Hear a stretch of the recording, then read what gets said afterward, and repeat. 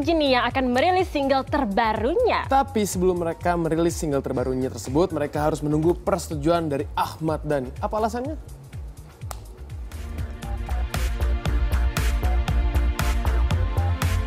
Terus mengeluarkan karya terbaru sepertinya memang menjadi satu-satunya cara untuk mempertahankan eksistensi di industri musik tanah air. Begitu juga yang dilakukan oleh dua The Virgin. Dalam waktu dekat ini, Mita dan Dara akan segera merilis single kedua mereka dari album terbarunya yang berjudul Positif Negatif. Tapi tidak bisa asal rilis begitu saja. The Virgin harus menunggu persetujuan dari owner manajemen artis tempatnya bernaung, Ahmad Dhani.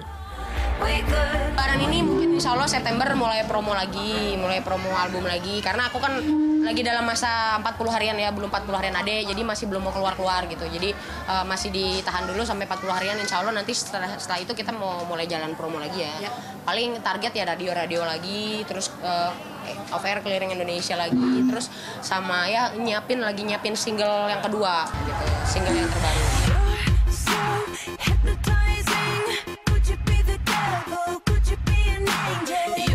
Baru setengah 50 persen lah ya kita belum milih. Udah ada sih lagunya, cuman masih milih-milih. Masih mau rembukan sama Mas Dani sama label dulu. Udah kalau album kan memang udah jadi, kita tinggal ketemu meeting untuk bahas next singlenya apa gitu. Jadi pilihannya label apa, pilihannya Mas Dani apa gitu, pilihan kita apa. Selain menunggu persetujuan dari Ahmad Dhani dan label, ternyata ada satu penentu lagi yang menentukan single apa yang akan dirilis The Virgin. Hmm, dari pihak mana lagi ya? Radio seluruh Indonesia. Hmm, seluruh Indonesia. Uh, ikut mempengaruhi penentuan lagu karena uh, chart dari mereka tuh biasanya diterima label setiap bulan kan. Jadi mereka tahu mana chart yang lagi bagus gitu, mana yang requestnya lagu The Virgin yang lagi banyak mana gitu tahu biasanya.